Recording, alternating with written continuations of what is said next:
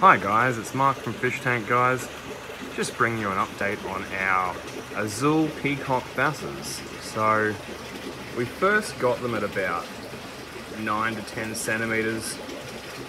And as you can see, I mean, from if you've watched the original videos, they're actually starting to grow quite quickly. I mean, I'm finding that they're, there goes the silver dollars, I'm finding that they're still quite shy and um, think it's just because of the sheer size of this tank. We've got them in about 10,000 litres.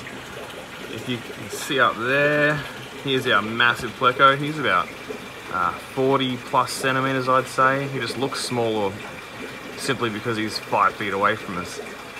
Um, let me see if I can get any more.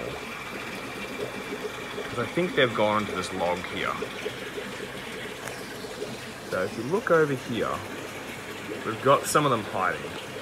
Now, this particular one on the left here, I think he's going to be the dominant male. He's starting to colour up very nicely. He's about doubled in size, and he's the one that's kind of bossing the rest of these guys around. Now, if I'm very lucky, the little fish there that keeps following him around will be a female. Now, it's kind of hard to tell until they get to about 40 plus centimeters. But it's exciting watching these guys grow. Anyway guys, thank you very much for watching and uh, our next update will be a live feeding.